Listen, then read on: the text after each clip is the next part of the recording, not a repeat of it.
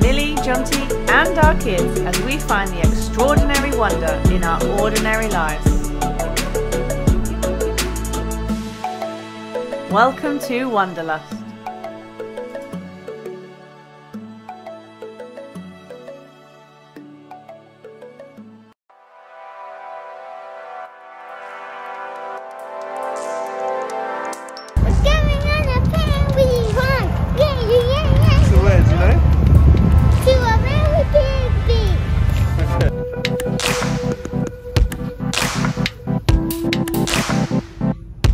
So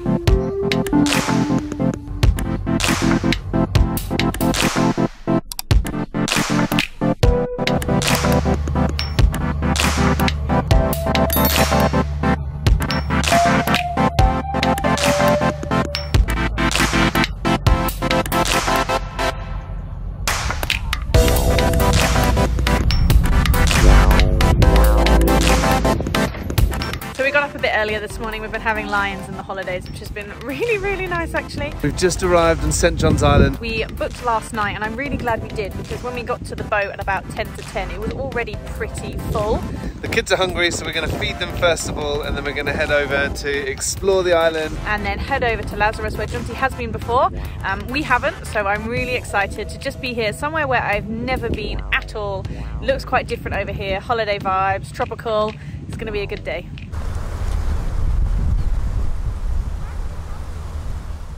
Just seen a sign telling us about coral reefs around here. We do have some snorkels, we didn't bring them today, so that might be something for another time.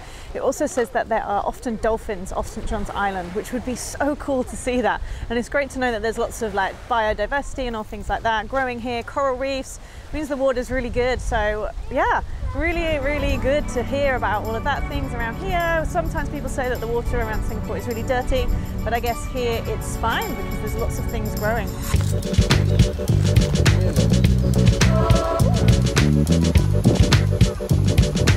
Feel a little bit sorry for the kids because they've just uh, found the sand and the sea and they're excited about it and we've just said no let's just go for a little walk around the island and check it out first. And um, obviously like an eight year old and a six year old kid just wants to go and play on the beach right rather than hang out with their parent walking around an island but they're coming anyway so hopefully they'll learn to appreciate it in time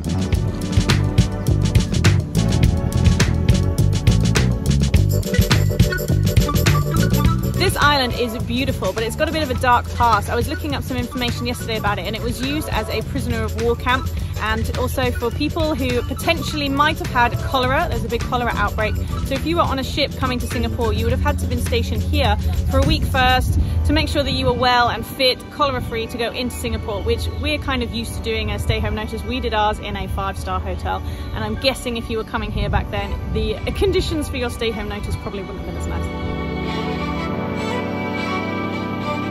Yeah, I wonder if these were one of those prison cells that Millie was talking about. It's all been boarded up now.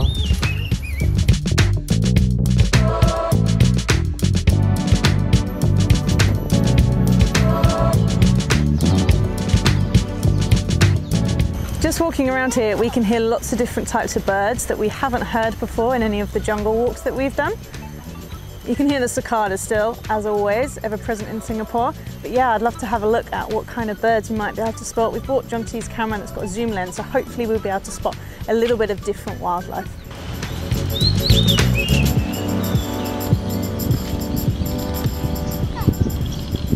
If you're into your trees, there are 10 heritage trees here, and there's a walk that you can do that mm-hmm. tells you lots about them, different types of trees. Oh, Some of them are really, really huge. Again, other ones that we haven't seen on the main island.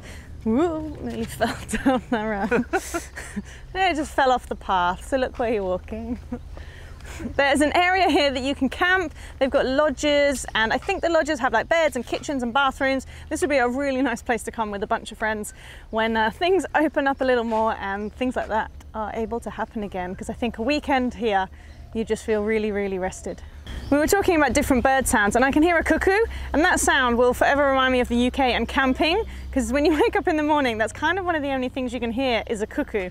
And uh, yeah, trying to listen out for it again, but really nice to hear different sounds. Makes you feel like you're really away for a bit. Interesting looking bug. We've got no idea what this is behind us. It kind of looks a bit like a detention centre.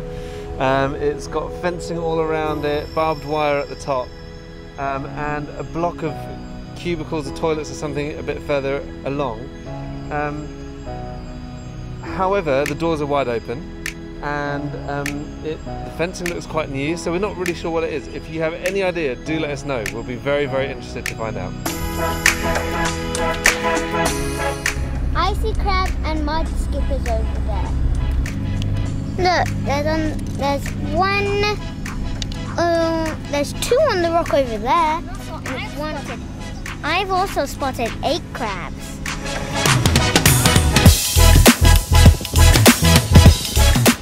The island was also used as a drug rehabilitation centre for people getting over opium addiction.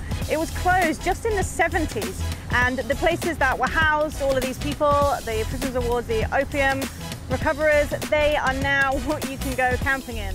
Quite a stark contrast from what they used to be used for and now what they can be used for too. Look, just along the line of the sea. Can you see them? Some crabs look like they're waving at us. Just in, after I did. They're crab claws. Yes, I know. I saw them Oh yeah, you see those big ones? That is Lazarus Island where we are heading very, very shortly. We're actually going to cross over the walkway there. These trees have got amazing roots and they're really, really tall.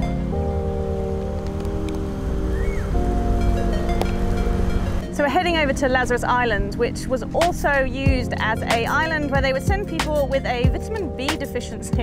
And it was also a large fishing village until just the 70s.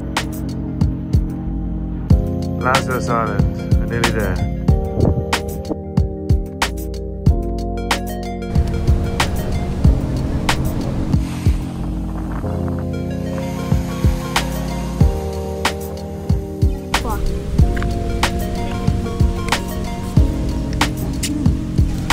Got a hand press Nespresso machine.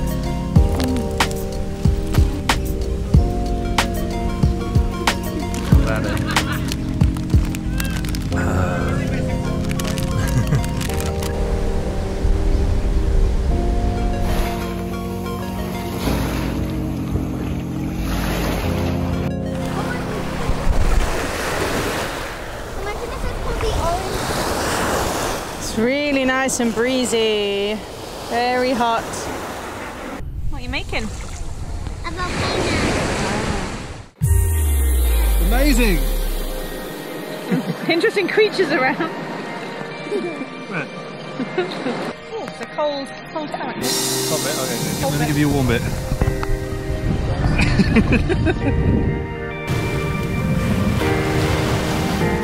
Still pretty empty. I guess even though the boat was full, everybody kind of spreads out because there's nature trails as well as the beach here. Really nice spot to get away to.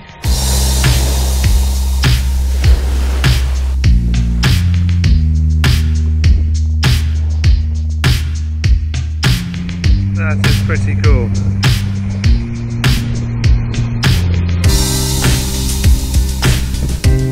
It is so lovely just sitting up here, taking a few moments to sit and take in everything that's around us. I think in Singapore it's so easy to constantly hear the air conditioning or the traffic, and here it's just water and wind, and it's just it's just beautiful. Um, the water over here is a lot clearer, even clearer than over at East Coast Park. Um, we experienced some amazingly clear water there recently, um, and it's is fun. The, the, the water moves a bit more over here into the cove, um, and our kids are having a great time. The sand here is a lot finer than at East Coast Park as well, which makes life a bit easier for the kids. There's not as many sort of rocks getting caught underneath fingernails and that sort of stuff, but they're having a really good time. And so are we, um, and that's fantastic. Um, I've just spotted while I'm sat up here how the um, waves kind of chase each other around the edge of uh, this little bit that sticks out. It's just really cool. Um, obviously it's the way that the water flows, but it does look like it just chases itself along um, the edges of the, of the rocks here. And that's fun just to watch. I don't know if you can see it, we found a mud skipper skipping across the water.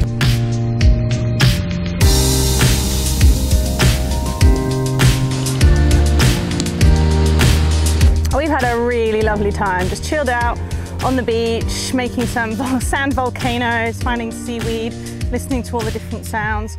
It is really, really warm. It's beautiful. So we are now heading back to catch the boat to head to Kusu Island for a little bit. You can stay here a little bit longer and then get a boat back straight to the Marina Point ferry. But we want to go and see one of the islands because we've heard it's pretty cool there too.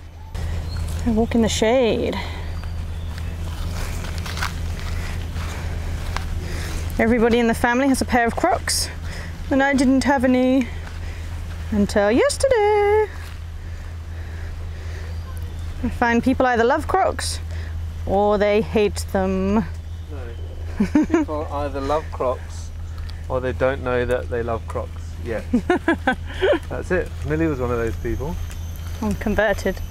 Our friend Delini, after telling me the day she buys Crocs is the day that Jesus returns, she was also looking at how much Crocs are. So let's be honest, people. Get over yourselves, buy a pair of Crocs.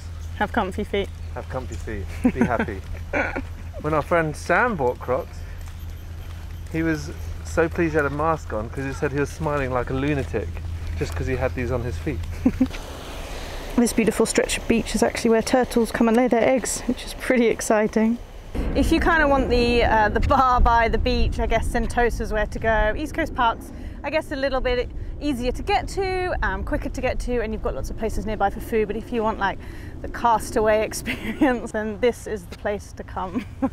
I guess you're tied to the boating times, to when you can get here and when you to get off. Unlike East Coast Park and Sentosa, you can pretty much stay as long as you like, although they do have a closing time at Sentosa. But uh, this is just lovely to be away, and there's not many people around either because I guess you're only limited to how many people come and go on the ferry. But when we were arriving, some people were already leaving. I think the first ferry departs at 9 a.m. and then I think you have to leave by uh, maybe five, but don't quote me on that. Check out all of the times because some of the times are different for public holidays, and unless you want to camp out under the stars, you better catch that last boat back. Although I did mention that to the kids, and they were like, "Yeah, we could camp here." Which would be quite fun. I wouldn't mind it actually, but uh, yeah, I'm not too sure what nightlife would be here when the sun goes down. I'm amazed we haven't been here sooner to be honest, it's our sort of place, so we'll be back quite a lot and um, definitely recommending it to friends. But we're hopping back on the ferry to head towards Kusu Island or Turtle Island. Aspen is stormy ahead because she's desperate to sit on the top deck, which is going to be a lot of fun.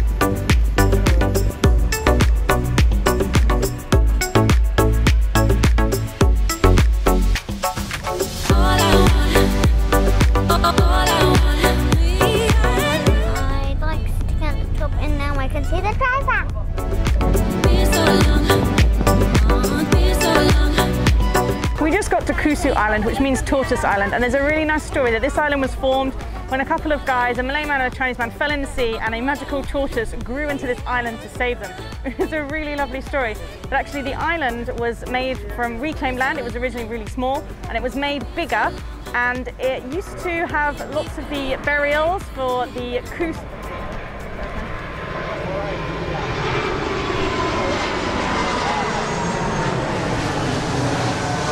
It was actually used as a burial site for some of the bodies of the patients that died that were on quarantine on the other islands we were, but now it's been turned into, it almost kind of has like a bit of a holiday resort. It's a lot more paved, it's a lot more kind of done up. There's a really nice feel as we first on, so we're going to go and explore and see what's around.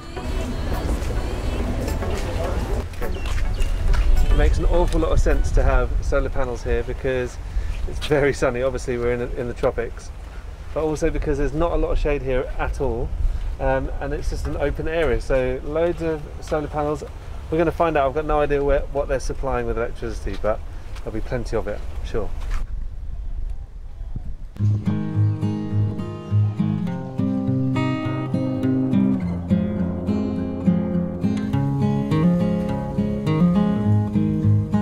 annual pilgrimage here on Kusu Island and here at the temple it's a very peaceful sort of atmosphere.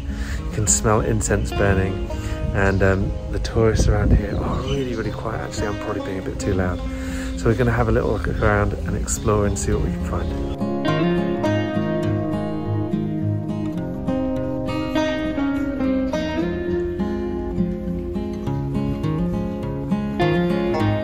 The temple is really beautiful. There's people in there lighting incense, giving offerings. Really, really nice place to be and to come in such a good location. There's a little shop in there that sells water, which was great because we were starting to run low, and there's a washroom as well.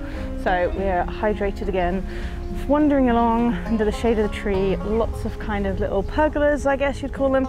There's a food centre here as well, but that's not open at the moment. There is an annual pilgrimage here when the food centre is said to be open, and you can imagine like the bars, everybody coming here to pay respects, give offerings, and then having food in this beautiful location. The kids have made friends with a guy who's down inside one of the tortoise shelters feeding them, and some of these terrapins are really, really big. There's a big one in there that we've seen poke its head out. Looks like it would be massive, but the guy's kind of talking to Aspen and Marla about them, feeding them, letting her pick them up. It's really, really sweet.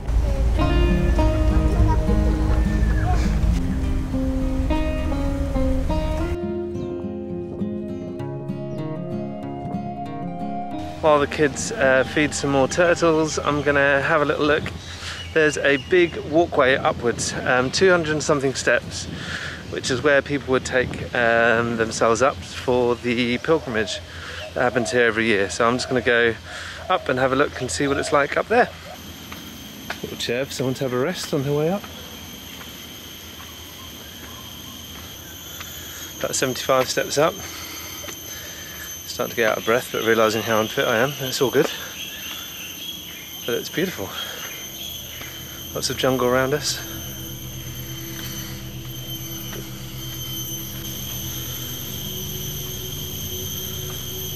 There is a beautiful yellow painted temple right here on the top of the hill here on the island. Um, it is very peaceful up here, there's no one else up here.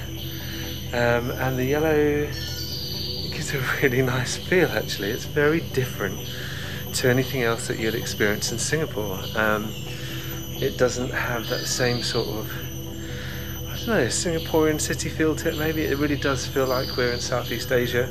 Sometimes it does feel like Singapore is a bit of um, I don't know maybe a Western version of Southeast Asia. I guess because of the big city and everything. But this really does feel like we're out in the foothills of somewhere or other, and um, it's really quite beautiful. Up here, other than a distant plane every now and again as we're in the flight path of Changi Airport, you can just hear nature. Birds, the breeze, and some insects. It's beautiful.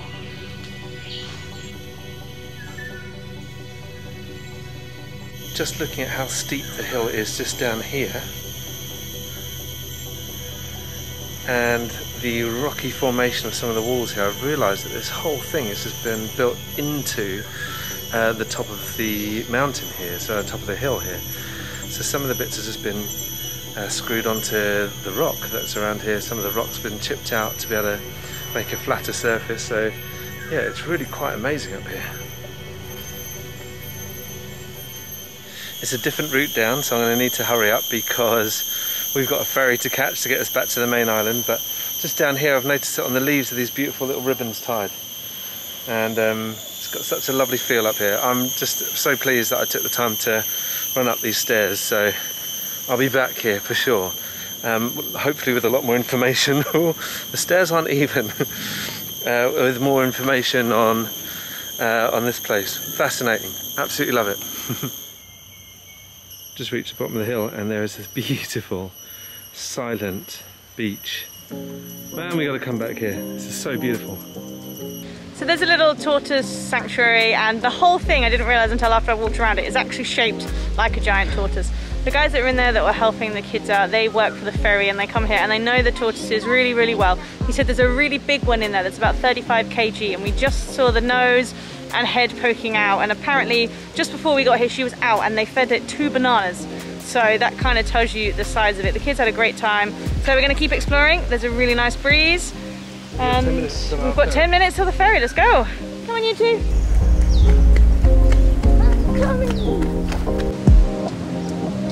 Oh my, the water here at Kusu Island is unbelievable.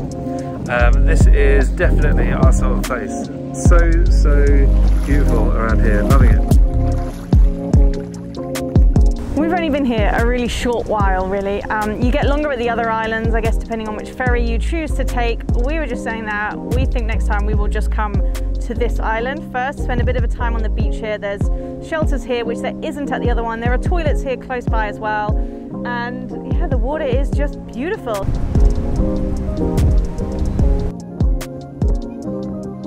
Squeezing out every second we can have here, so we had to run back.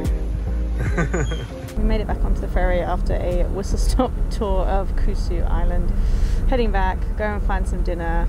Sandy, salty hair. It's been a really, really lovely day.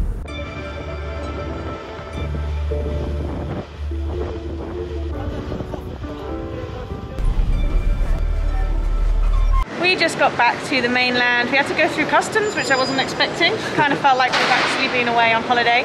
And this amazing day out was actually gifted to us by one of our viewers. So we are so thankful to be having this opportunity to go and knowing that our YouTube channel has been giving you some joy over the time. We are so appreciative of your support and this lovely gift for us. It's a really nice family memory for a really long time to come. Yeah, as part of the gift, uh, this lovely viewer gave us um, a dinner as well. Uh, it was meant to be on Sentosa because we thought that the ferry left from Sentosa, but it doesn't. So we are going to stick to the red line, which is where the MRT is here, and going to go and find something, probably some Korean barbecue.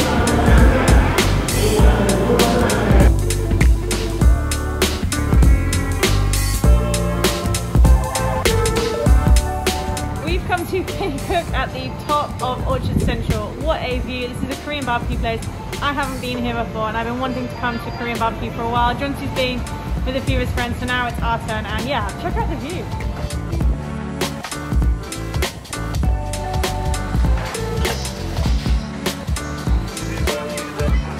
This is Korean barbecue. We get the food brought along and then we just grill it in the middle um, and eat it when it's ready. It's very, very simple.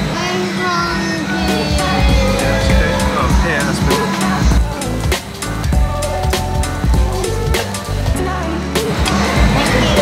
What do you like best so far? I think this. Pork? Yeah, the pork. Aspen, what do you like best? I think it's the squid.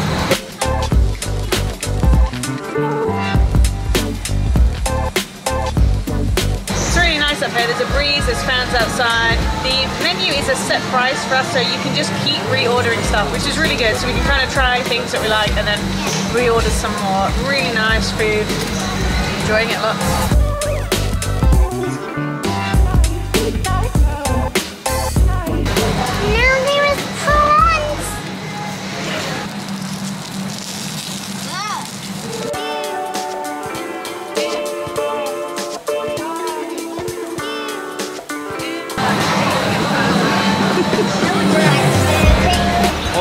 Day. We have absolutely loved exploring the islands and then coming back here onto the main island to have some dinner. And we're so grateful to um, our viewer who's gifted everything to us. So yeah, really, really grateful. It's been an amazing day. It has, and um, my first time trying Korean barbecue, really good. We ate a lot. I'd say if you haven't been before, you get a little tick list and just tick some stuff off because it's really good to try some things. The kids tried some new things as well. We ate quite a lot. I feel very, very full. This is good after a whole day at the beach. Time to get the MRT home. It is. I think you're going to say something else. I thought you were going to do the finish. Bye Okay. Thanks for watching, and we'll see you soon. Bye.